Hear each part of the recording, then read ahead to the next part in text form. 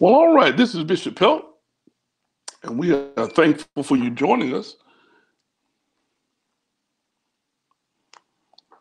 And we just need to, there we are. There we go. All right. We had a little delay there. Thank you guys for being so patient with us today. Uh, one of the things we're noticing is that with all that's going on, sometimes the internet is a little delayed, but we are thankful that you're on with us on another Teaching Tuesday. As you know, this is just something that we've done to keep us up to date in contact with one another. Um, and I'm so honored to be able to do that. Listen, just a few things to remind you. Please like and share and know that this, even this one that we're doing today, uh, is on YouTube as well as Facebook Live. And so, those of you who are watching us on Facebook, uh, if you have comments and uh, things of that nature, we really do appreciate you sending those comments in, and we will do our best to answer to the best of our ability all of the questions or inquiries that we receive. As you know, we are uh, moving swiftly through this month. This is the last month of August. Can you believe that? And we're moving into our fall months, and we're looking forward to what the Lord is going to do through and with us uh, as we move through. We're praying for all of our students who are in school, whether they're in kindergarten or college. We're praying for every one of you that the Lord would grace you and bless you. Uh, we're praying for our teachers. We're praying for nurses and doctors who are dealing with the uh, the stuff that's going on, and we just want you to know how much we are praying for doctors and nurses. Excuse me, as they minister and serve the community. Many of you have seen some of my requests today was Lord, just do a miracle. We have a few ministers who are battling COVID, but we have a couple of family members in the Church of God Florida Cocoa family who are battling COVID. And we're asking the Lord just touch their body. So I want you to just join with me for a quick word of prayer, and then we will bring our guest on. Father, we thank you for your goodness and your mercy. We thank you for your abiding love and your ever care. We ask you now, God, that you would go up and down this state, all around this world. Bless those who are battling COVID. Bless those who are in the throes of the battle for their life. We say, God, be merciful, be a healer as you are and grant them, oh God, health. I pray now for doctors and nurses, oh God, you would touch them and give them insight and wisdom like never before, oh God. We lift them up, oh God. And Father, while we're in this time of praying, we're praying for those in Louisiana, those who've been affected by the hurricane, oh God. We say, God, will you continue to be the God of grace and peace? Will you truly let them know, God, as ministries will be coming to that area, oh God, to serve them? I pray, God, you let them know they're not alone that you have not forsaken them, oh God. We pray for those in Afghanistan, oh God, those soldiers who have left, oh God, and they're Americans who are still there. We lift up that region of the world and we say, God, will you be a protector and provider even in that place where it seems like perilous times are there? And then we lift up those in Haiti, oh God. We lift up Pastor Kent Shaw, oh God, Bishop Kent Shaw, as he prepares to go to Haiti, oh God. Watch over him, God, and let his time of ministry be fruitful, oh God. We know, God, that you're the God of everywhere. You're the God who can move anywhere. So, God, we pray, God, even though we can't go, we say, God, will you go before and use them for your glory and your honor? It is your servant's prayer. Amen. Listen, I want you to be praying for those regions, as I just stated, the hurricane in Louisiana and that region, Mississippi Delta area. I want you to be praying for them, even to the tip of Florida. Haiti, as Bishop Shaw is getting ready to go down to Haiti um, even this weekend. And then we also want you to be in lifting up um, the wonderful people in Afghanistan. As you see on the screen, this is our Haiti's earthquake response. Bishop Shaw will be going, and if you are interested in going, uh, or at least sending some items, you can do it through a couple of ways. You can do it through Zelle, through his Cash App. You can call us here at the state office today, and we will take those funds. But as well, you can send that to um, the international office, it does have a world missions number. If you just put that back up one more time, just put that up one more time, it does have a world missions number. And so if your church is interested, that world mission number is 102 9534, and you can receive credit for your giving at World Missions. Again, we thank you for that. We want to remind you that because of COVID, a lot of stuff will be virtual. We just come out of our virtual seniors conference, but in the month of September, we have our virtual girls retreat. And we're looking for you to be a part of that virtual girls retreat on the 18th of September. So save the date. Uh, Lady Marion Gowdy and the girls ministry uh, we're working on that, and Lady Pelt will definitely be a part of that. She would love for you to be a part of and I would love for you to be a part of that. We understand that because of all that's going on, we are limited in some of our group gatherings, but we're looking forward to us being together virtually. And this generation, you know, listen, it's second nature for them to be on the computer like that. So we're looking forward to a great time with them as well. Men, men, men, listen, we knew we had to cancel the seniors conference, but we're going to do our very best to still hold our Life Builders Conference. Um, and that's the first and second of October. Bishop Vincent Polk, who we're praying for, uh, lost a brother. Uh, he'll be funeralizing him this weekend. But we're praying for uh, you to join us, fellas. Fellas, let's get together. And if it's just two or three of us and a pack of hot dogs and, and Jesus, we're going to be all right. But we do want to get together this October. And then we are still hoping to have our state youth convention. As you know, it is always the weekend following Thanksgiving. Uh, we are analyzing that even as we speak, and we will probably give out a little more information a little later on as it relates to that. So please continue to work with us as we are working through all of these great, great things. Last but not least, we want to uh, remind you that as we are uh, moving forward into this year, these are ministry moment opportunities. And this is where I will segue to our guest today. We have a great guest today, a great friend of mine. I've known him literally, um, true, it's easily been over 30 years now, almost at least been right at 30. But he's a great friend, former youth director, great pastor, one of the first guys to ever invite me to do a youth camp in the state. Ladies and gentlemen, I want to introduce to some and present to others Bishop Chuck Noel. Chuck, are you there? Hopefully, we'll get you in. Man, we're just getting them in. Well, we got a little technical difficulty with Chuck's would come in when he gets in. We'll be, uh, but as you know, we spent last week talking about church revitalization and health, and I want to just stop for a moment and remind us uh, that in this season we want to be healthy churches. We want to be churches that that strive to be healthy, so that we can evangelize, which is our great commission obligation to go into all the world. We want to be healthy churches so we can be community engaged. I still believe that the church is a conduit of community development. And I'm challenging us as churches uh, that we would continue to do not only the Great Commission, but make sure we have community connections. Uh, as it has been uh, shown, especially in our community, that there are many who uh, may be nervous of services or different things. And as a result of that, they look to the church, they look to our guidance to help them uh, with these items of corrections. So I'm asking you to continue to be engaged in your community. I've asked every church to uh, be involved with a, a school, to adopt a school. And I'm asking you again to adopt your school close to you. Everybody should have a school close to them. And if you do, you should take the time to uh, call them, be involved with what they're doing, ask them, say, hey, what are you doing at the school? What do we need? What do you need help with? Uh, hand sanitizers and tissues and things of that nature. People are still looking for those things, and we're looking forward to being a blessing to our local schools, teachers. Uh, we're looking forward to them as well. So we're asking you, please be involved. And then as well, and as well, um, let me see if I do one other thing. Here we go. Okay. Sorry about this, ladies and gentlemen.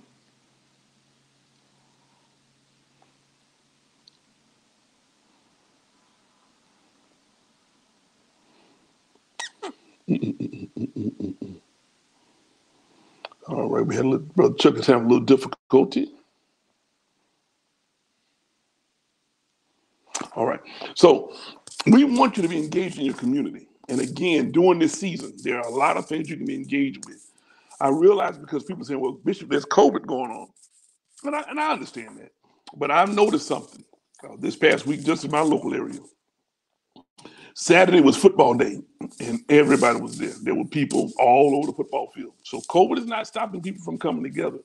Um, I think we just have to be committed to saying, listen, we will maximize our time of coming together. I'm not telling anyone to be careless, uh, but I'm telling us to be about the Father's business, and we can still be about the Father's business by going among the hedges and highways um, I saw that as a great opportunity. Hold on just one second here. So there we go. We're gonna put we're gonna put him on another uh, yeah, we got we got Chuck on a, on another little situation here. But we're asking you. Uh, I you know I, I, saw something. I want to give a little shout out to just uh, a couple people who have been really ministering very hard during this season that I've seen online. Um, one is doing things where people need the service. A lot of people still don't think about it, but a lot of people still have to go to a laundromat to wash their clothes. We should be going to these laundromats and doing what we call loads of love. Take some soap, take some quarters, and minister to the people and say, listen, this loads on us. Um, whether you like it or not, gas prices are going up and everybody's not in the same place. Uh, but we need to uh, call and maybe go and talk to a gas station. Say, listen, we'll we'll pay for at least five dollars of gas for people, ten dollars of gas, um, and, and, do a, a, gospel gas day. When you go to a gas station and say, listen, we're gonna pass out some tracks, we're gonna give out some gas. And I hear people always say, well, Bishop, people are just people are just uh, uh, get the stuff and then walk away. Listen, one of the things that our job is to make sure people know. People may not always uh, follow us. Uh, people may not always uh, continue to stay connected to us in some regard, but we should make sure they hear the gospel message, and that is critical. Hold on just one second. Let me do one thing to help Brother Chuck here. Hold on just a second. Give me one second, ladies and gentlemen.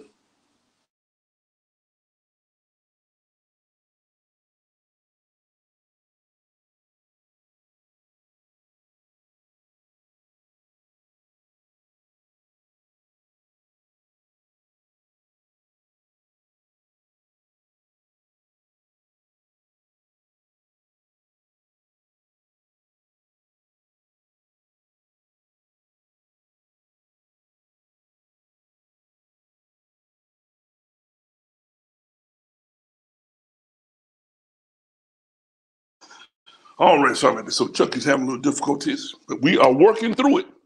And we still say, This is the day the Lord has made. Let us rejoice and be glad in it. These things happen to us sometimes. And so when he gets in, we'll jump in. But again, I was sharing with you, I know that many times people get nervous about evangelism and assume, and people do. There are people who are fishing loaves, folks. There are people who only come for what you give to them.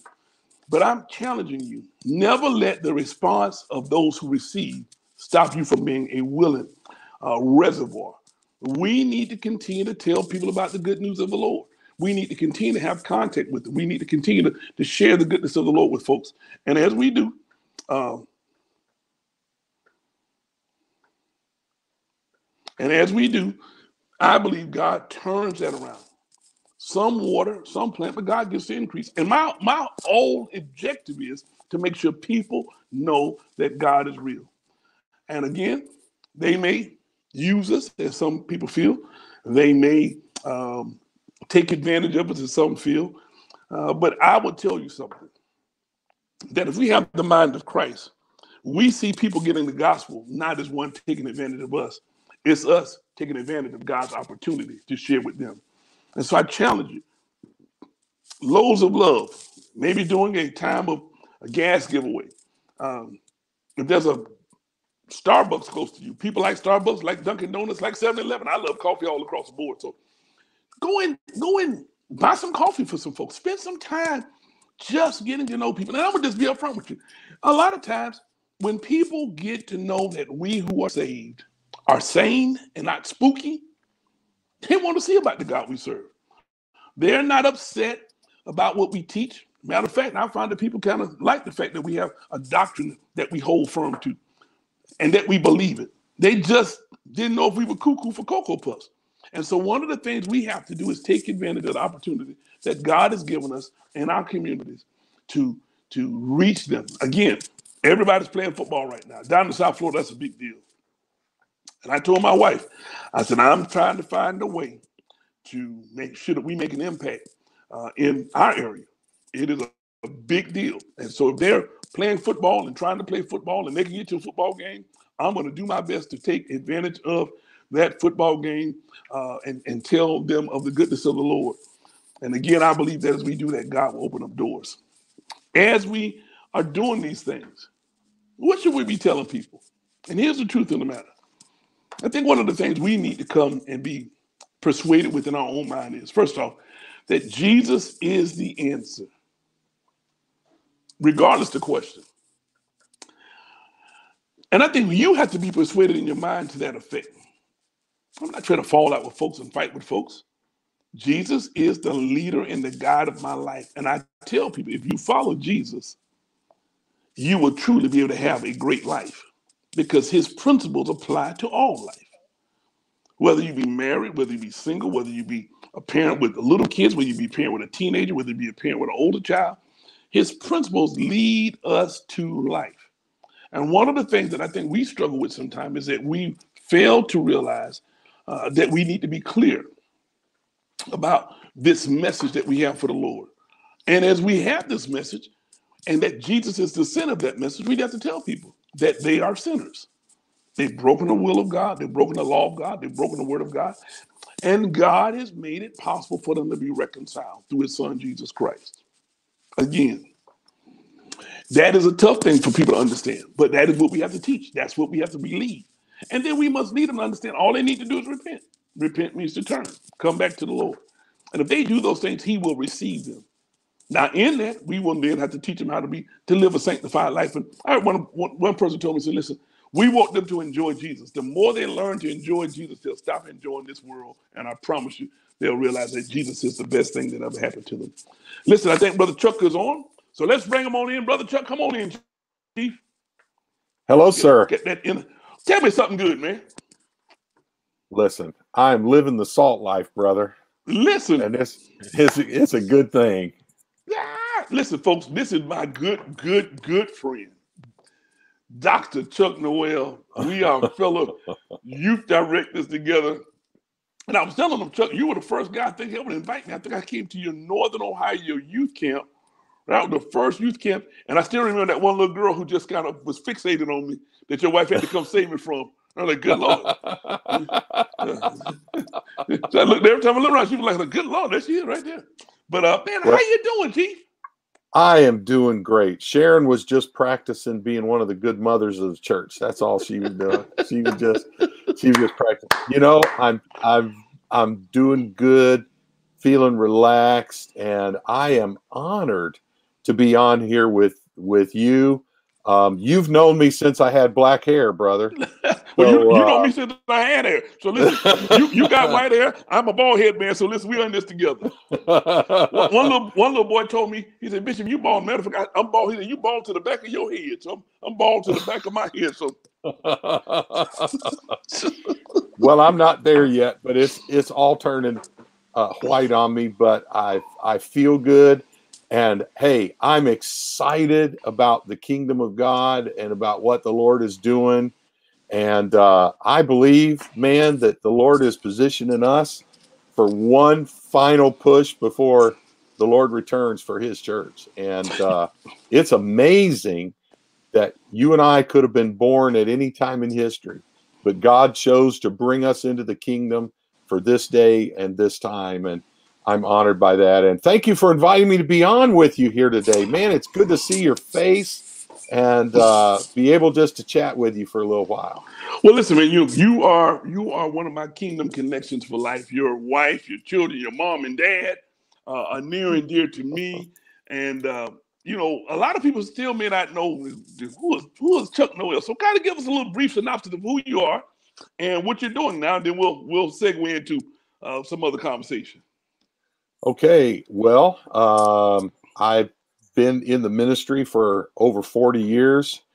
Uh, was a pastor for many years, served as a state youth director for many years, uh, been a student pastor and Christian education director in a local church.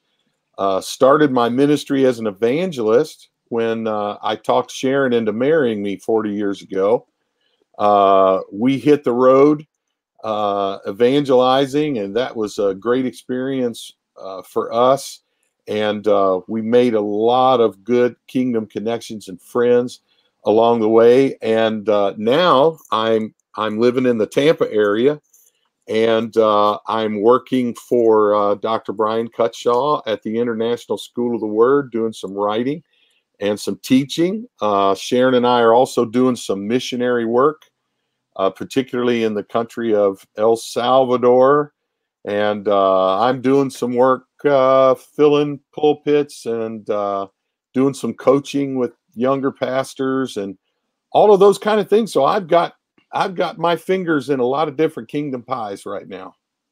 Now that's a good way to segue because I think one of the things that I shared with you, I think even we were talking about church health and evangelization, but but I want to kind of come back to something. You are to me a model of something that we may need to be mindful of. You you transition from a full-time pastorate to this. Can you kind of help maybe because I think one of the things we don't do, and our tribe especially, we don't transition real well. We don't, you know, and I'm, I'm gonna say this in defense. Your dad was another one who transitioned very well. Dad transitioned well. Uh, you know, talk to us about, especially even now with what you're doing in coaching, the significance of us being prepared for transition so that ministry can move and, and go forward, whether it be personally or the church? Well, Bishop, I, I appreciate that question because I believe the kingdom of God is um, set up uh, in times and seasons. That God has times and seasons for everything and and everyone. And uh, you mentioned my dad. And by the way, my mom said to tell you she'll have chicken and dumplings ready when you're ready to come over. Tell her, tell uh, her, I'm, I'm tell her I'll be seventy. I'll be hitting seventy five coming right on up real soon. She got to work. um, I think the kingdom of God is characterized by times and seasons, and um, you know, my dad uh, sensed that the season had come for him to transition, and he surrendered himself to that. My my whole ministry has been one of seasons and assignments. And uh, wherever God assigned me, whether it was as a state director or it was at a pastor as a pastor during that time of assignment i was passionate about what i was doing but i also had to be sensitive to when that season changed uh, and here's a couple of things to remember about when that season changes first of all i'm not my own i belong to him Hmm. And uh, there have been a couple of those seasons, to be honest, Bishop, that I felt like I was in the military more than I was in the ministry. Hmm. Uh, I felt like I'd been called to the commanding officer's office, and I stopped 12 inches from the desk, stood at attention, and saluted. And he said, Hey, you did a good job in your last assignment, but I have a different assignment for you. Well, I, am happy in this assignment. I'm, I'm content in this assignment. Yeah, but I've got another assignment for you. Mm. Um, and so you have to be sensitive to when God is changing your assignment. The second thing I would say is the timing is everything.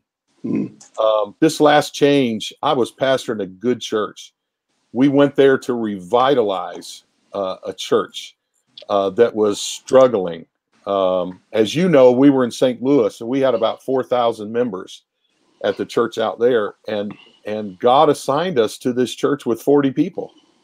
And uh, it was a revitalization project, and we watched God turn it around and resurrect that congregation and do some wonderful things. And uh, to be honest, I was content to stay there until retirement. I, I was happy to do that. But opportunities began to come to do some missions work, to work with my good friend Brian Cutshaw, and um, I knew God wanted me to do it, but then COVID hit, and I knew that the timing was not right. So you can do the right thing at the wrong time mm. and still get in a mess. Uh, so be sensitive to a change of seasons. Uh, look for the right timing. We had to wait until the church was on uh, solid ground financially. The church was a solid ground spiritually uh, the church was winning new people and growing again. We had to wait until the church uh, was able to deal with a transition. I think um, one of the things that I have done, and maybe we often do, is we choose to leave in the middle of conflict. Hmm. and and sometimes that may be necessary. I know you as a bishop have had to deal with that a lot, but and sometimes it may be necessary. But if you can, hang in there and settle the conflict, settle whatever has to be settled. And then if you feel God's changing your season, then make a transition. And the third thing I would say is that it doesn't always make sense. Um, man, my my wife and I were both on salary at the church. We were making a good income. Uh, we had a, a beautiful home, and everything was going great at the church. But the Lord said, "This is the time." And uh, so sometimes it doesn't even make sense to other people. But if God's changing your season, I'll tell you something that my mama taught me.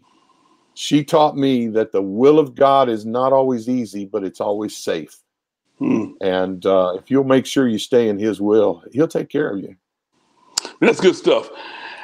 Listen, this is my great friend. He is a great leader, great teacher, uh, Dr. Chuck Noel. I promise you, he's now in Florida, folks.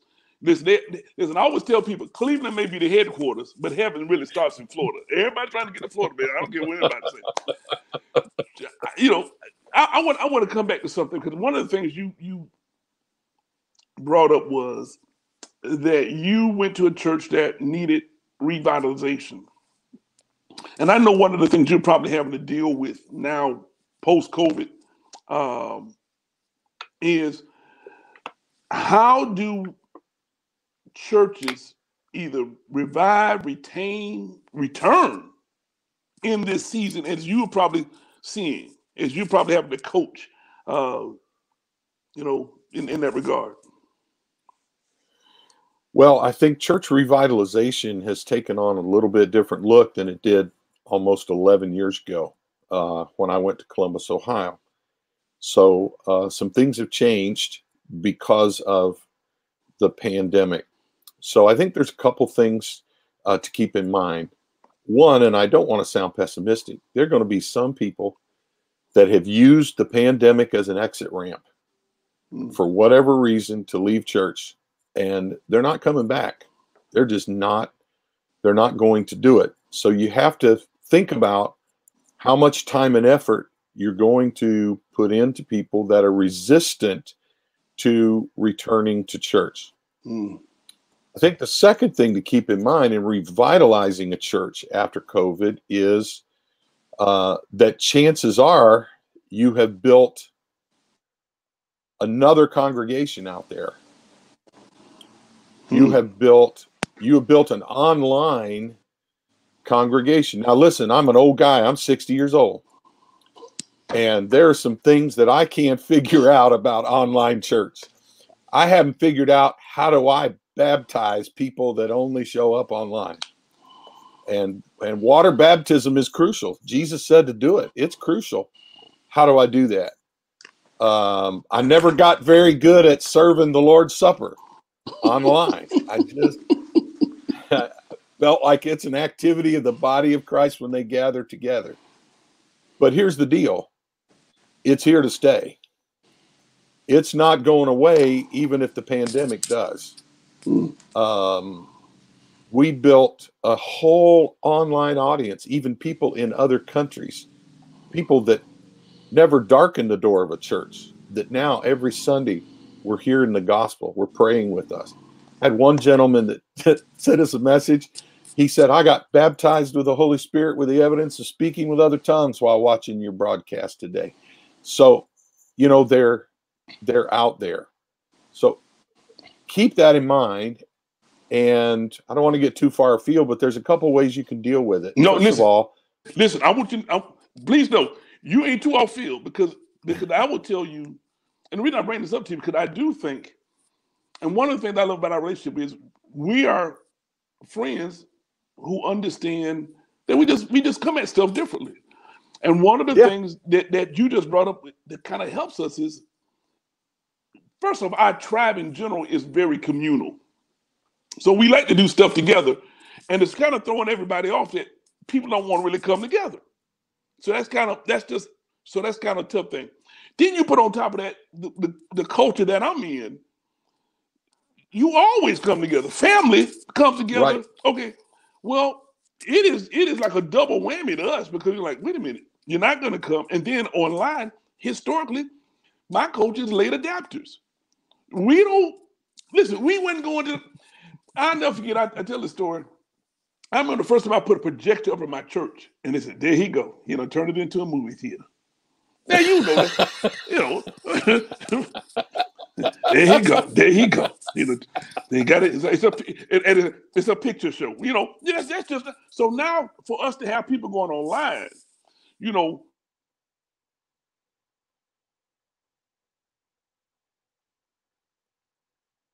Hello.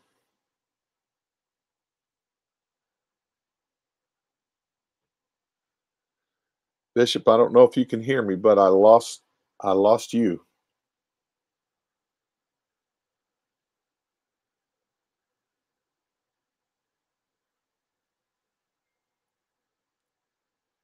Bishop Pelt, you have exited the building.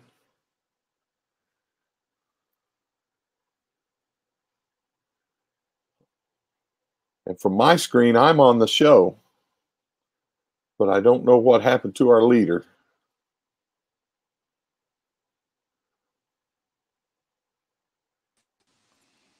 There, there he go. is. Uh, listen, you must got something more power, powerful to say today because we have had more problems today. But tell me something good again. All right. Well, he, here's the thing. I I agree with you, and and uh, I come from my parents come from an Appalachian culture, and the Appalachian culture is that uh, the church is a family. Not only does the family get together, but the church gets together as a family. And when you get saved, you don't miss church. You you just or your family is going to come down on you about not being in church. So I I I understand what you're saying, but I think there are some things that we can view differently, that we can think about differently. Um, and it one of the hardest things in the world is not to change procedures at church. One of the hardest things in the world is to change culture. Hmm. But but we're but we're being uh, forced. You talk about late adopters for months, the young leaders in my church have been saying, Pastor, we got to get online. Pastor, we got to get our services online. And I kept telling them, look, you raise the money to put some NBC, ABC, CBS quality cameras in this sanctuary, uh, and we do it studio quality, then I'll let you put me online. But I'm not going online. I've seen some of this online stuff. Well, then COVID hit, and we're doing it with we're doing it with a spotlight and an iPhone, and, and we're and we're we're just trying to keep people connected. But here's one of the things to think about, and and one of the things that I had to start thinking about because it can get discouraging when you look out and and you're trying to have church and a third or half of your congregation is just not there. It's gone, and you wonder. You've tried to call them, visit them, you don't even know where they are uh, that can be discouraging. But but here's some things to think about. What if we thought about active attendance versus average attendance? Hmm. And and what I mean by that is how many people are engaging with your congregation online and and not just for 10 seconds but how many people are engaging with the service online then if you if you have electronic giving of some sort, people can go to your website or they can text to give, whatever the electronic giving is. As a pastor, pay attention to that. There may be someone that you haven't seen actually in church for a while, but are they still giving?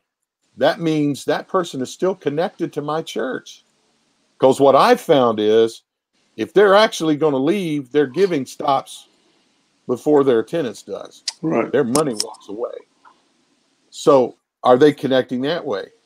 Maybe, and, and this is something again, the young leaders in my church just just got to me on because uh, again, I can sometimes be a late adopter. Uh, they said, Pastor, we need digital discipleship. I said, You need to describe, I don't even understand the concept of digital discipleship. Well, they created one evening a week where one of the leaders in the church would go online and do a whole discipleship course. Maybe it was on stewardship, or maybe it was on how I got saved, or maybe it was on another topic, sanctification, or whatever. And they said, look, we have to reach out and begin to disciple these people that are connecting with us uh, online. So, as a pastor, I had to shift my thinking a little bit away just from average attendance to what is my active attendance? Are they connected in a small group?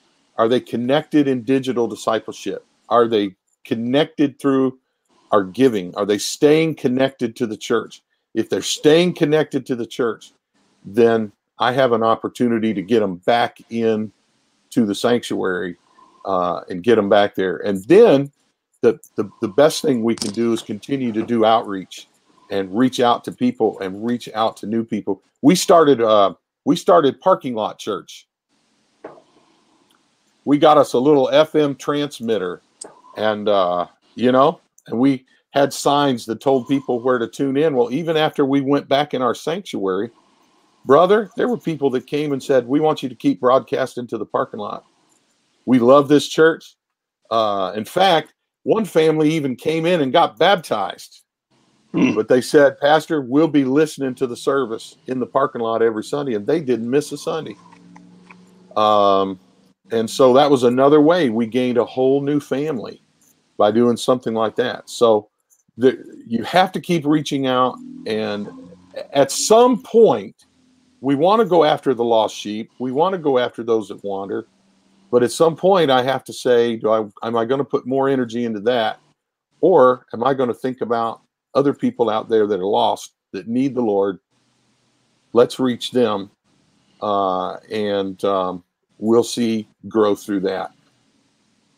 That's good stuff, Chuck, and I appreciate you saying that because I think one of the things that people are nervous about is they're assuming that that you have to give up one for the other. And you, you're right. Ah, you got to right. continue to look for those who left. But our commission is to those who are lost. It is to those who are lost. And and let me let me even push you a little bit because I know you teach there at the school uh, with Dr. Uh, Cutshaw. When you guys talk about outreach, are there not and to the to the Florida Cocoa family? That's why I'm always hounding you about sponsoring the school.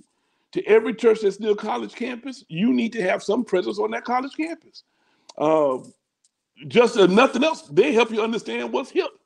I try to stay around college students because I don't I don't know what's what's hip. I don't know what's cool. I don't I don't know. And I need them around to kind of tell me. But at the same time, the community needs to see that the church is not the building. If anything, Corona has reminded us that we are a body that use a building, not a building looking for a body. And right. I, if you would kind of expand that a little bit, because I know you're probably talking to people to kind of get them out of that mindset, maybe even going back to the, what we consider the first century church model. Well, just just a couple of examples of trying to be a first century church in the 21st century. Some things that uh, some things that we did, um, going out into the community with teams, uh, particularly to the homes of of elderly people or disabled people and uh, saying, "Look, what can we do for you? Can we mow your grass? Can we rake your leaves? Can we, uh, you know, paint your gutters? Can we do something around your home?" And all we ask in exchange is just let us put up a sign in your yard that tells a little something about our church. Uh, we took uh, we took uh, five thousand dollars, uh, and um, we bought five hundred $10 gift cards, uh, some to Walmart, some to Chick fil A, some to a local, uh, like convenience store, gas station uh, place that were right around our church, right around our church. And we got permission uh, to from the managers of these places to go there on a day and just pass out $10 gift cards to people and we attach to it information about our church, inviting them, inviting them to come. Um, another successful outreach that we did is we partnered with other ministries. Now, look, you know me. I am I'm a company man. I am Church of God. I love the Church of God. But I found out there's some good Christian people out there in my community that love God and they want to see people get saved. And so uh, there was one called Mommy's Matter that was a ministry to single pregnant mothers. Oftentimes we tell them, don't abort your baby, but who's going to help them when the baby's born? Man, we partnered with Mommy's Matter and provide diapers and wipes and high chairs and uh, help preparing a resume, help with transportation, help finding an apartment, baby food, formula. Um, they each of those girls had a Christian mother in the faith that was assigned to them uh, that that walked with them through this process until that child was two years old, and and so we were able to reach a lot of people, a lot of young women with the gospel uh, through that. Uh, and there were other ministries uh, in our community that we partnered with.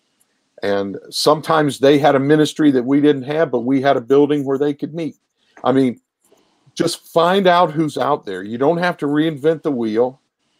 And if we're not concerned about who gets the credit, if it's kingdom connections and kingdom work, God will open lots of doors.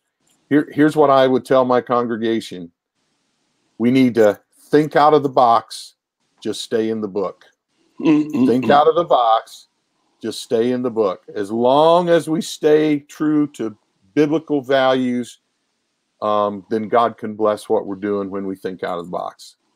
And that's good stuff, Chuck. And I appreciate you again. I, I like that we stay out. We can listen. We got to get out the box. We'll stay in the book.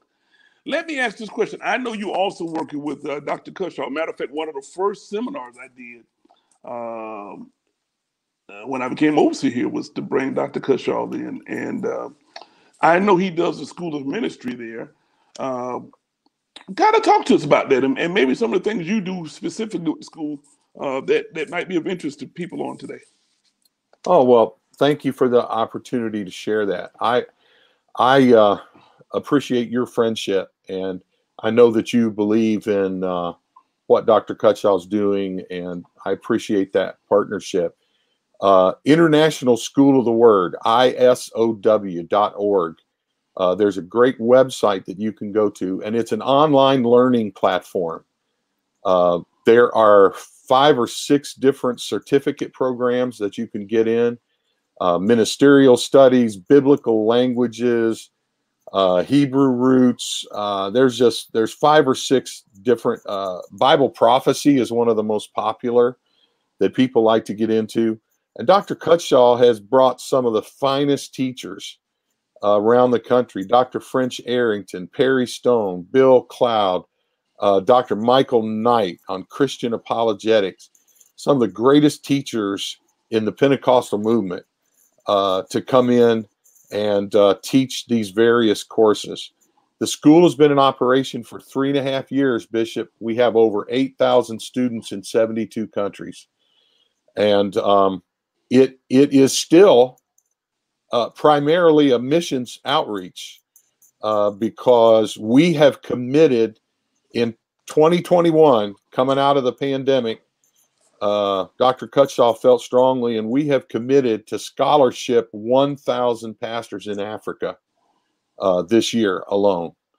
Um, and of course, you don't get paid for that, you know. So you need students to sign up, and you need donors to to donate and help with that. Um, as our school goes to other countries, um, the the tuition is scaled based on where a person lives. If you live in India, you would only pay $2 for a course that a, a student in America would pay $100 for.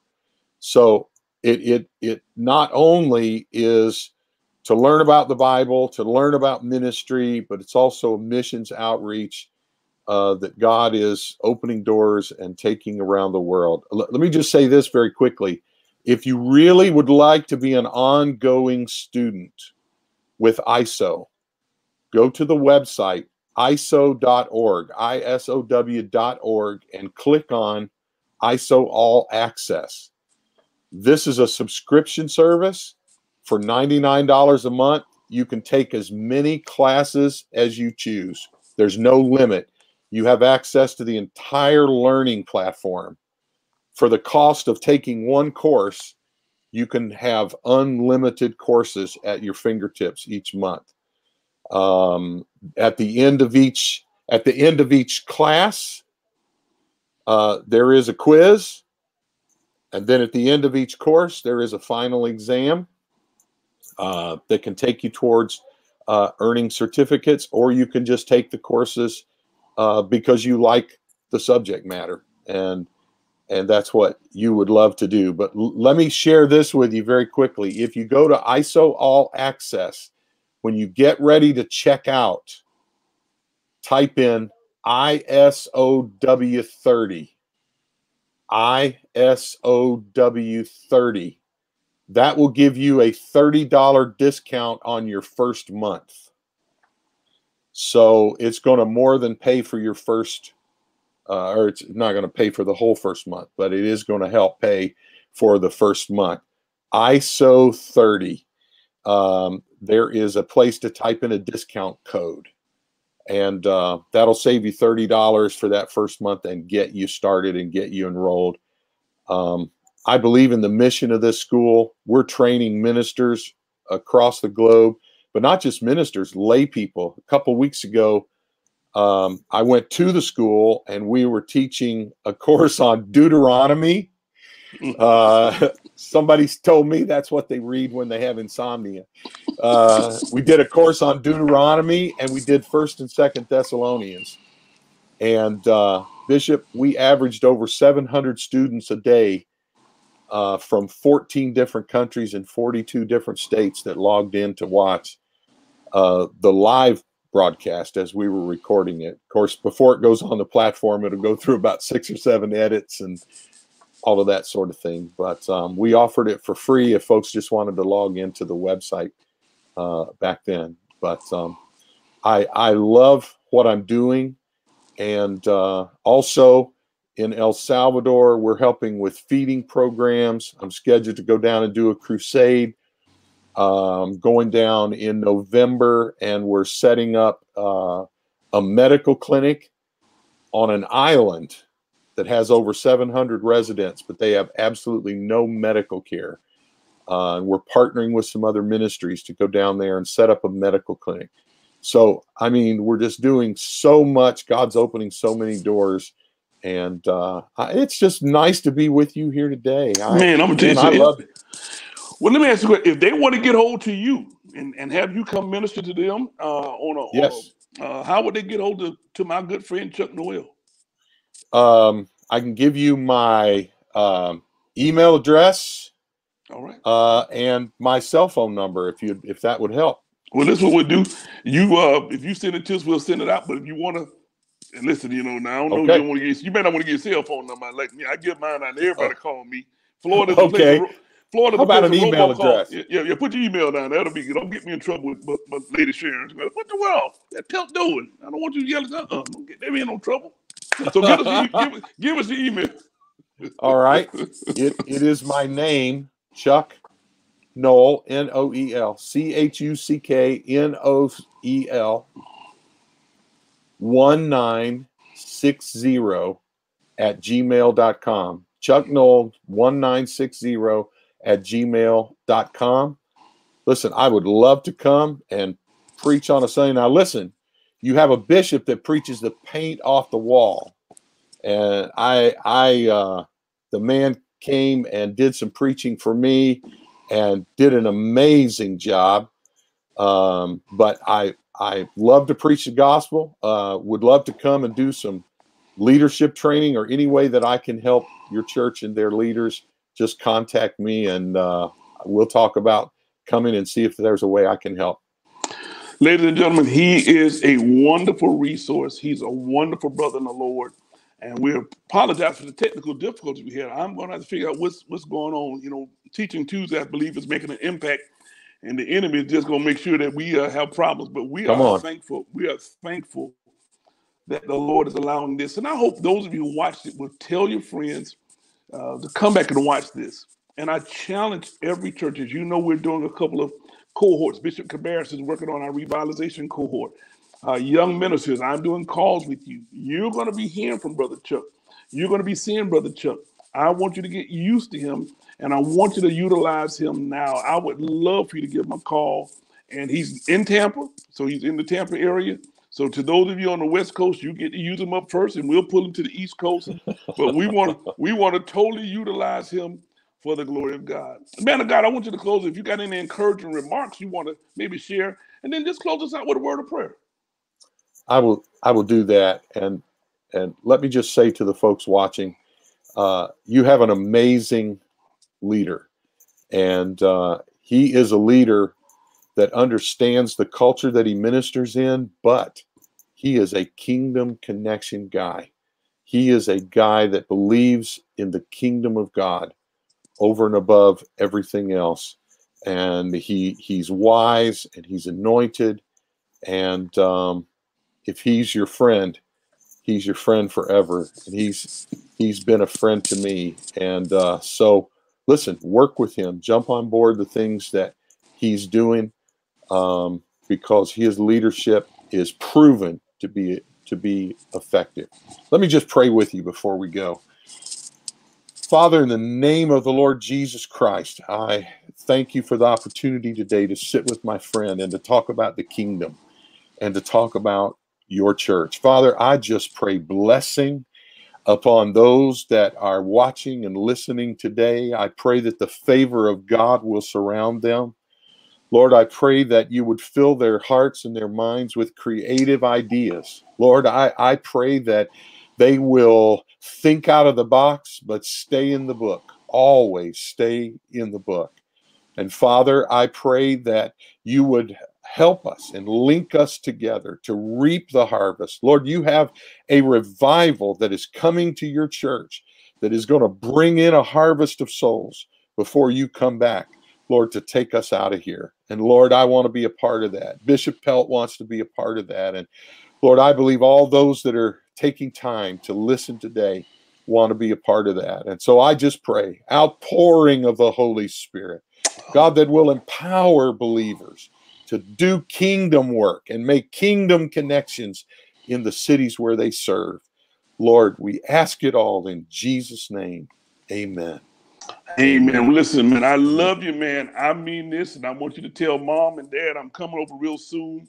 Tell your lovely wife we love it. I'm going to have you come to the House of Radiant, but I'm definitely going to have you come back, and uh, maybe let's do a uh, uh, an expanded uh, teaching Tuesday. One of the things we find is because it's in the daytime, sometimes people don't get a chance to watch it. But I would love maybe to have you do a teaching Tuesday one night, and Okay. have you do a session and I believe it would be wonderfully blessed. Listen, ladies and gentlemen, if you've been blessed by this, let me know. And I promise you, we will get him in touch with you for your church and what God is calling you to do. Ladies and gentlemen, we are in very, very perilous times, but we still have a very powerful God. And no matter the, no matter the chaos, we are still more than conquerors through Him who loves us. So again, we love you to life, and as we always say, I'm praying for you. I thank you for praying for me. I won't harm you with words from my mouth. You are important to me, and I need you to survive. And thank you for being with us on Teaching Tuesday. And thank you for keeping us cocoa strong all day long. Love you. I love you. Thanks, Chuck. Love you. Bye bye. Bye bye.